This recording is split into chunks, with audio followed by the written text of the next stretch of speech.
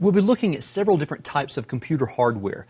Most of these types of hardware share the same core architecture, or at least very similar core architecture.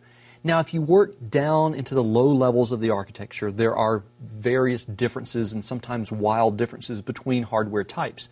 But at the basic level, computers have similar types of internal hardware. The first type of computer is the mainframe. That's the computer that typically is the large computer with no or, or very limited I/O capability outside itself. In other words, it doesn't communicate a great deal with other computers. Although it may communicate, it may have network uh, I/O. These days, mainframes do a lot more than they used to.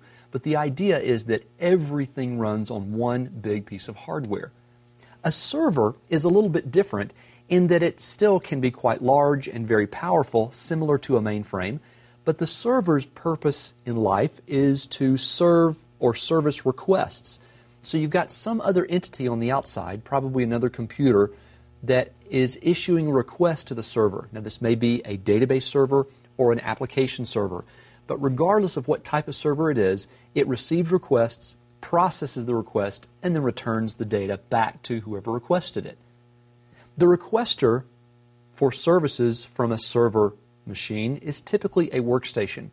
A workstation, in most cases, is probably going to be a PC or a personal computer of some sort, but a workstation doesn't have to just be a PC. It can be anything.